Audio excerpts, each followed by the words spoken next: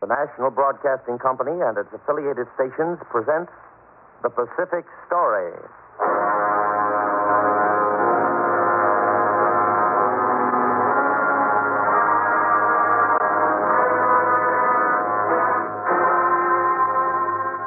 This is the story of the Pacific, the drama of the millions of people who live around this greatest sea, where the United States is now committed to a long term policy of keeping the peace. This is a documentary account of the situation in the Pacific, of the men and events which are today influencing world affairs for generations to come.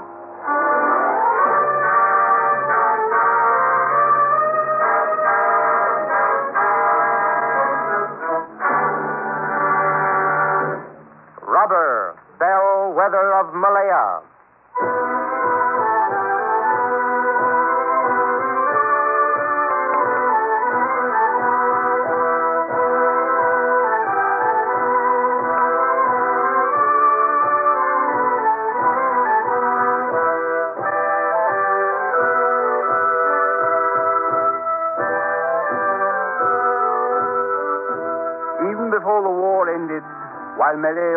The hands of the Japanese, we knew in what condition we could expect to find our rubber plantations when we returned.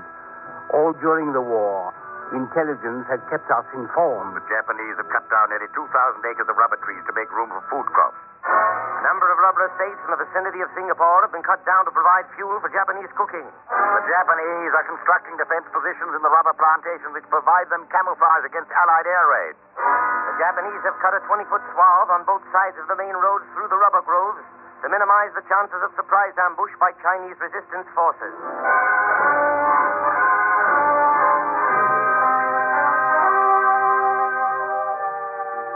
We knew what the Japanese had done to the rubber industry in Malaya, but there was no way of knowing the extent of the damage. Like to be pretty severe, I'd say. Hankins, who had been on our place in Malaya for so many years, used to talk about it. You see, their first interest, Cosmic, is to hold Malaya and Singapore. Rubber comes second. Mm, yes. What I'm wondering is if the plan that's been worked out for the rehabilitation of the rubber industry will mean anything by the time we get back. Well, after all, it isn't likely they'd destroy all of the 3,500,000 acres of rubber in Malaya. Unless by so doing they could hold Malaya.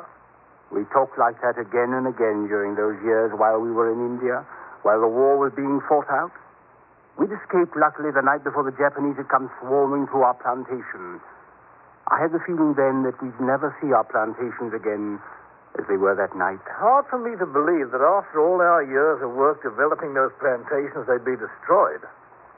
That development had taken many, many years, through good times and bad times, depressions and booms. My family had been part of it for three generations. We had actually helped create the rubber industry in Malaya, for the trees are not indigenous to this part of the world. They were planted here from seeds brought from Brazil, with the Kew Botanical Gardens of London between.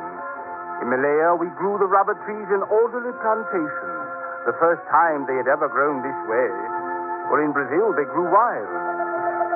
And it was 70 years ago that a Mr. H.A. Wickham, who was a planter near Santarem on Tapajos Plateau in South America, chartered a ship in the upper Amazon River.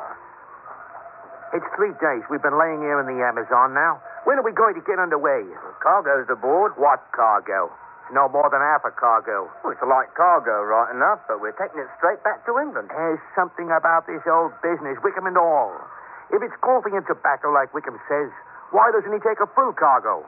Running out of here with only a few bags. Yeah, that's what I asked the bosun. Huh? What did he say? Says we shipped on as seamen, not supercargoes. The bounder. Yeah. I had a hunch when I shipped out of Liverpool on this packet that something was up. Uh, careful what you're saying. Wickham's back in the cabin with the captain now. I don't care where he is. Well, you don't get The nowhere. by- passage over was all right. The discharge of the cargo was all right.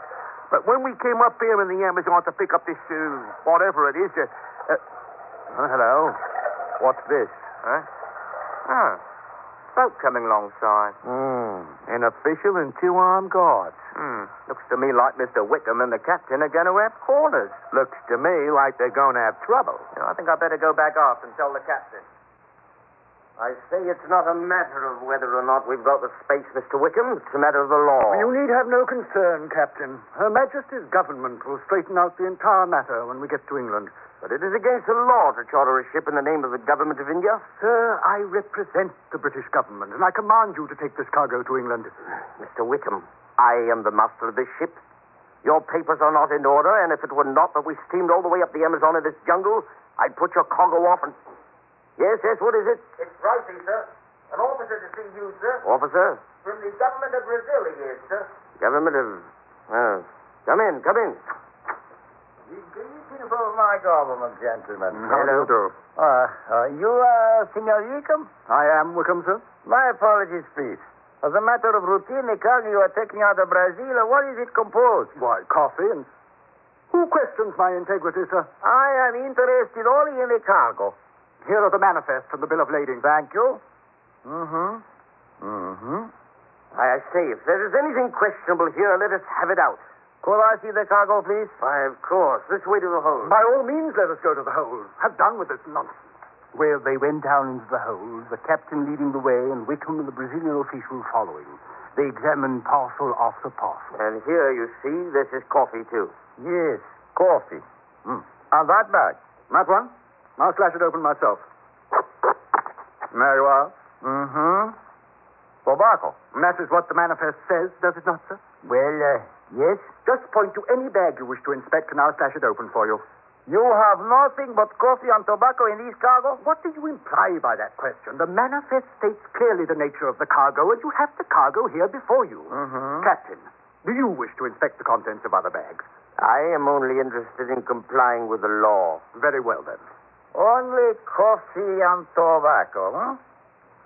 It would be most unfortunate, Senor Wickham, if, uh, by chance, we should have found, shall we say, seeds for the rubber tree. Or perhaps you know it is unlawful to take rubber tree seeds out of Brazil.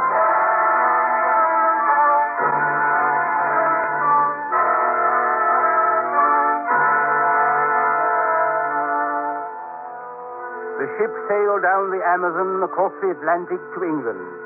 Most of its cargo, the coffee and tobacco, went into warehouses, but some bags went to the Kew Gardens in London. In these were 70,000 rubber tree seeds. The seeds were planted and coddled by expert nurserymen. Seedlings were sent to Malaya, and seven plants arrived safely at Kuala Kangsar and were planted in the residency garden. These seven seedlings were the first rubber trees planted in the Malay Peninsula. And together with the trees that were reared at Singapore, these seven seedlings became the nucleus of the Malayan rubber industry.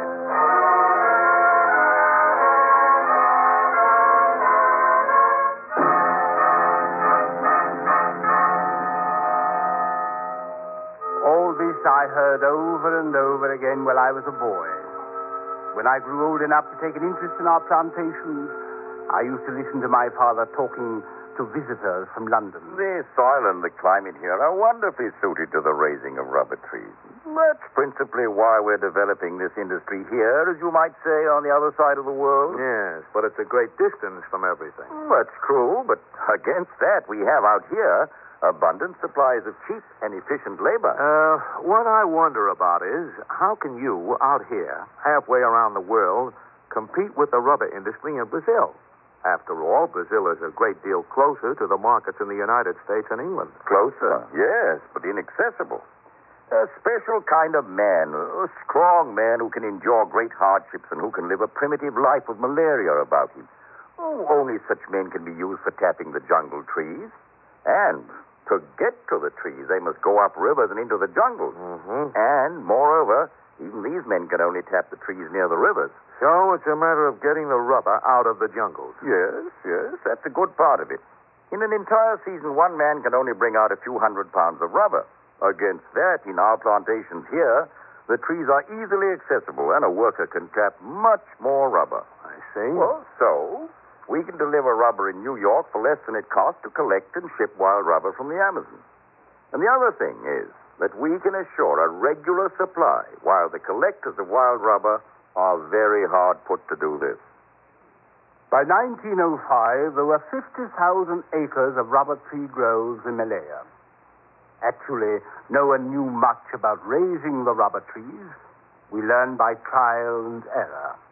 My grandfather, who was one of the first planters, had worked out his own methods. My father followed these methods pretty well. But every planter had his own ideas. Almost no one would take any advice from anyone else. Something ought to be done about those Malay and Indian planters. Well, they own their own land. They have the right to grow their trees as they wish. Well, look what they are doing. Planting as many trees as their property will hold, paying no attention whatever to the root diseases, the bark canker, or anything else. Nor to fertilizing, nor to bud grafting, for that matter. That's what I say. And we've got to suffer along with them. When disease wipes out their plantations, it spreads to ours. Well, that's true, but uh, a good many of us are just as bad. We rake the ground clean between our trees, even when it should be plain to everyone that this causes soil erosion and declining yields. But the Indians and the Malays and the Chinese, they don't do this. They plant a cover crop between their trees, and their groves that are healthy produce more rubber than ours. Ah, I've heard that talk too. But they don't plant that cover crop between their trees just to get more rubber. They do it to have food to fall back on when the rubber market doesn't pay out. Nevertheless, if a cover crop will prevent declining yields and prevent erosion, then all of us should put that practice to work in our plantations. Well, I have been thinking about it. What we need actually is an organization of some kind in which we can pool our experience and our knowledge for the general betterment of the rubber industry as a whole. No. No, I don't hold with you there. This is a competitive business, and those that don't know enough about it to survive should get out.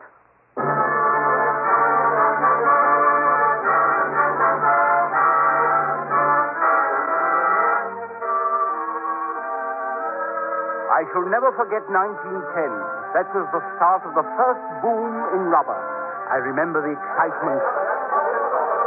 Why, it's fantastic. My father was as excited as all the others. America's clamoring for rubber. If I had ten times the acreage I have, I could sell every ounce of rubber I could produce.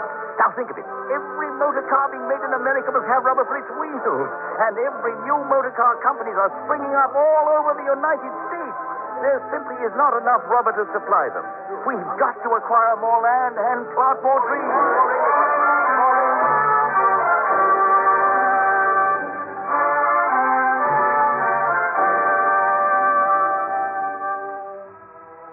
There was a scramble for land in Malaya and in the East Indies where the Dutch had gone into the rubber industry.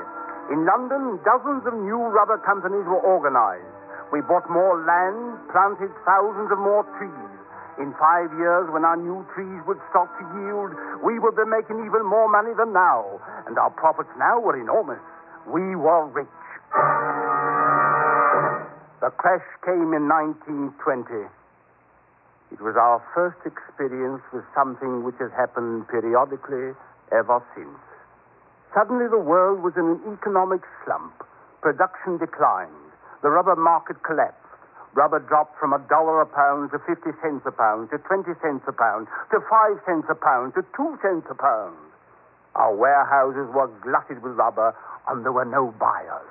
Gentlemen, it should be clear to all of us that two things are needed in the industry. A representative of the government counseled with the planters. We need scientific research to discover the best possible methods for the production of rubber, and we need more economic management of our estates so that crises such as this one may be avoided. Mr. Chairman, Now, Mr. Chatham, do I understand that you are speaking for the creation of an organization like the one proposed here a year or so ago? for a rubber research institute, yes. Well, I was not for it when it was first proposed, and I am not for it now. Hmm.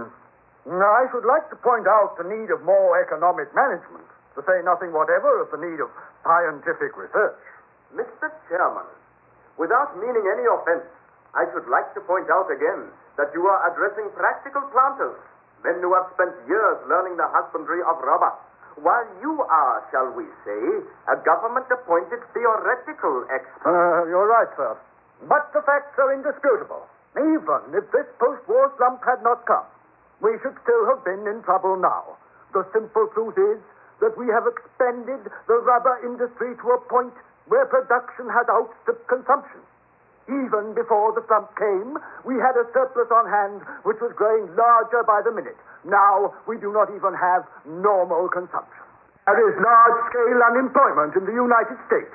In consequence, the Americans are not buying motor cars. Therefore, the motor industry has slowed down and is using less rubber. Mr. Chairman, if I am not mistaken, until now the United States has required 72% of the world production of rubber. Certainly America cannot now get along with much less than that. 72% of the available rubber some time ago. But this not, must not be con- con- con- uh, construed to be 72% of an ever expanding production here and in the Dutch Indies. Let us not mistake it, gentlemen.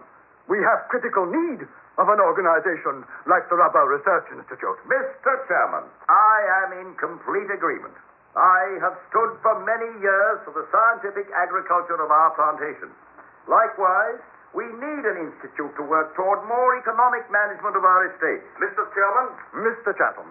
I say again, as I said the last time the Institute was proposed, that I will never support any organization which gives the government any kind of control over the planters. Mr. Chairman, I should like to propose, if it is in order, that a vote be taken on the question of the Institute, and that we here and now come to some The plan for a rubber research institute bogged down.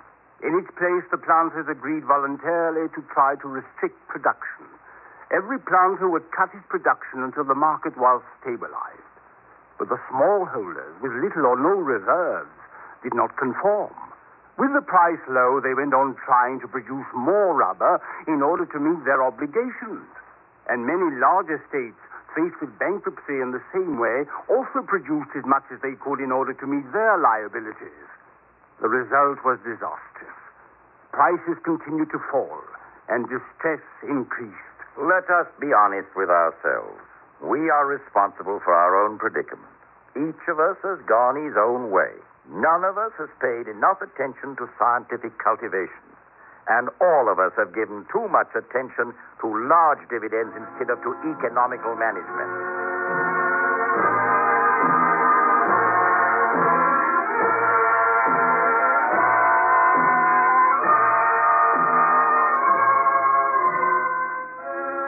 Just at the close of the slump, about 1922, that Hankins came to our place. We've been hit just as hard up in our country as you have here. Hankins, I have the feeling that there's a growing tendency toward cooperation among the planters, in spite of all the trouble we've had. I'll tell you what it's got to be. We must first have a restriction of rubber production on an empire basis, that is, all over the British Empire. Then we must work on restriction of production on an international basis. Hmm, that's long range thinking, all right. But where do we start? The first thing is to reach some agreement on the Rubber Research Institute.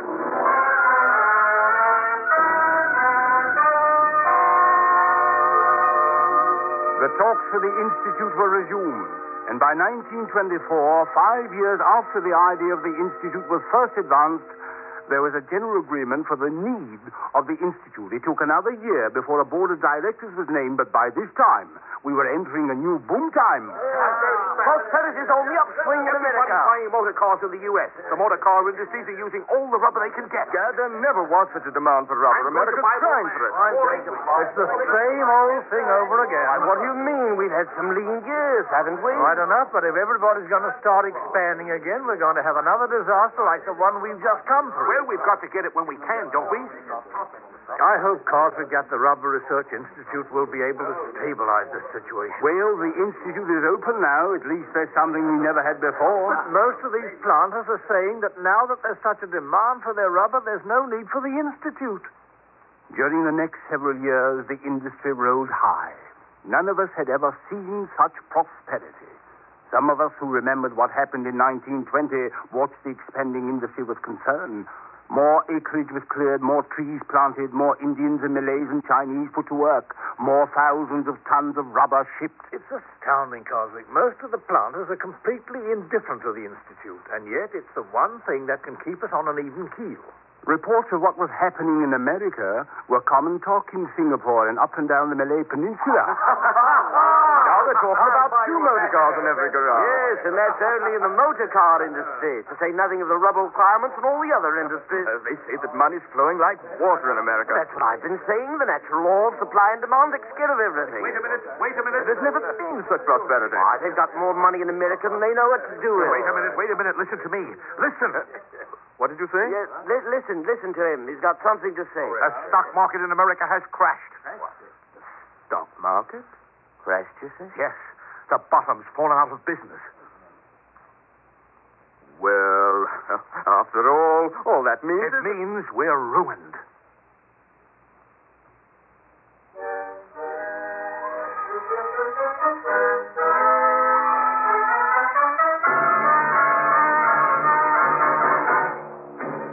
Slump came in 1930. It was the old story all over again. Overexpansion, overproduction, warehouses clogged with rubber, the market glutted, enormous losses, unemployment, and distress.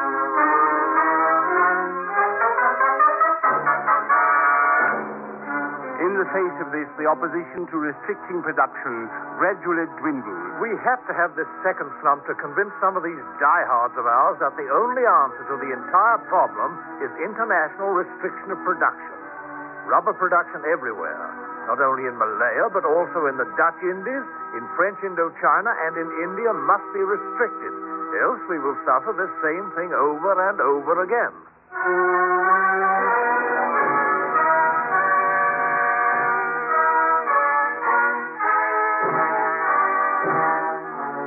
By 1934, the planters throughout Southeast Asia were ready to enter into a restriction agreement. Malaya, the Netherlands Indies, France, and Siam mutually agree as follows. New planting is prohibited. The export of rubber seeds is prohibited. And replanting for the next four years will be limited to one fifth of the acreage of each estate. A basic quota was assigned to each country, but although the agreement brought some stability to the industry, it held profit at a level which discouraged the smaller holders. It is no longer worthwhile for us. All we can do is sell out to bigger estates. Slowly, we pulled out of the slump. By 1938, production had leveled off. But this was the year of Munich. War was coming. Who knows what it will do to us, and just when we are getting back on our feet. The next year it came.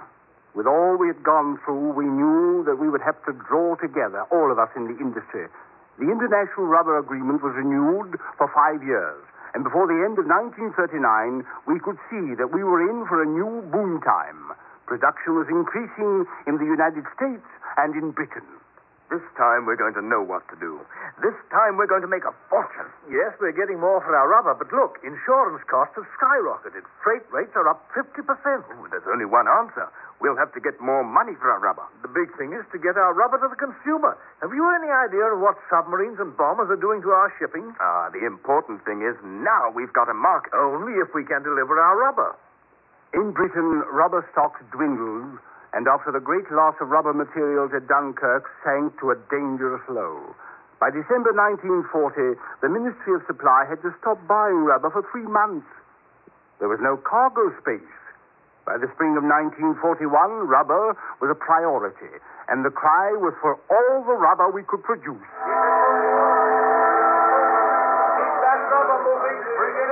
Say, if I had ten times the production I've got, I could sell every ounce. Come on here. Keep it moving. Keep it moving. It went on like this until the war spread to the Pacific and the Japanese took over.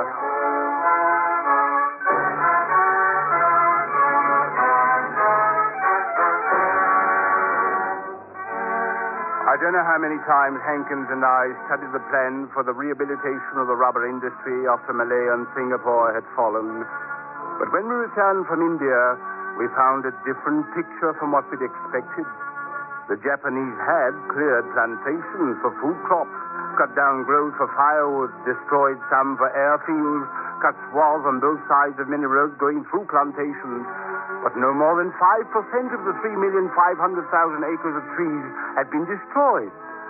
Some of the plantations were in bad shape, overgrown with bracken and scrub. Some machinery and buildings had been destroyed. But the gravest situation was that of labor. The Japanese diverted the labor for war work, a lot of it to the Bangkok Moulmein Railway. Many of these died. Within a month after the close of the war in the Pacific, representatives of the Rubber Growers Association arrived in Singapore with a plan for rehabilitation. Our first purpose will be to make a rapid survey of the European owned estates and to direct planters and machinery to those areas that will ensure a maximum early production. A Ministry of Supply unit arrived at the same time. Our task will be to purchase and export stocks with all possible speed, to encourage native production, and to bring in necessary supplies. Almost immediately, rubber started moving out of Malaya to the world trade. In a deal with the British Rubber Cartel in June 1946, the United States agreed to buy 145,000 long tons of rubber during the last half of 1946 at 23 and a half cents a pound. That's robbery. How are we going to meet costs at that price? How are we going to get industry back on its feet at 23 and a half cents? It must be recognized that America was not a very willing buyer at 23 and a half cents. It was thought that the 145,000 tons was about half the production of the Malay plantations. But the price of 23 and a half cents per pound flushed out more rubber than anyone knew existed in Malaya and stimulated still more production. A good deal of Indonesian rubber must have found its way into the Malayan market. Because of the confused political situation in the Indies, it has been impossible accurately to estimate current rubber production. Apparently, from nowhere, rubber began showing up in the warehouses. A party representing the industry went to Washington. America has agreed to take up 200,000 long tons of rubber from Malaya at 20 and a quarter cents per pound. 20 and a quarter cents a pound?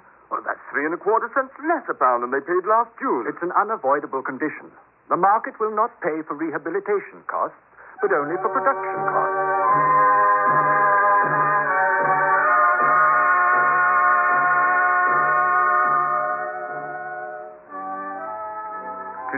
Nearly a year and a half after the close of the war in the Pacific, the rubber industry of Malaya is on its way back.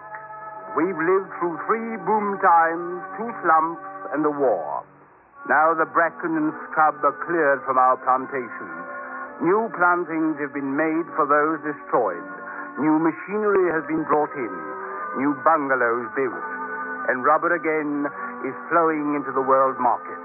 The prospects are bright.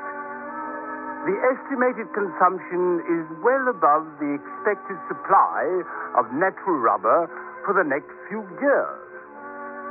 But facing us today is a development more formidable than ever before.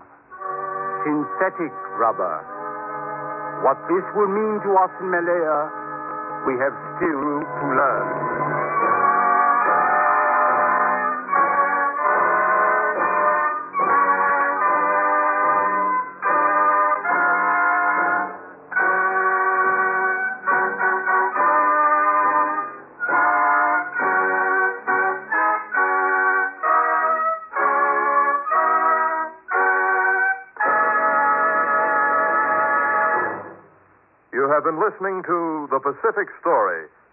By the National Broadcasting Company and its affiliated independent stations to clarify events in the Pacific and to make understandable the cross currents of life in the Pacific Basin.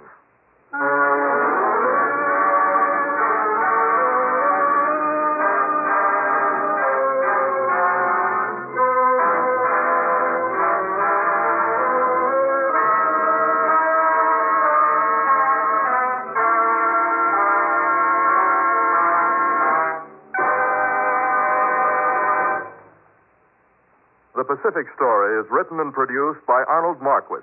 The music was scored and conducted by Henry Russell. The principal voice was that of Jay Novello.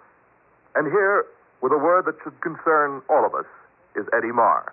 The war has been over for nearly a year and a half now, but it's still not over for 199,000 veterans and GIs who are in hospitals. For some of these fellas, the war will never be over. And in addition to these, there are a million and a half men in our armed forces. All of us have a responsibility to these men, and the bridge between us and them is the USO. USO camp shows and the many USO services provide cheer and hospitality to all men in the armed forces and in our hospitals. They still need USO, and USO is you.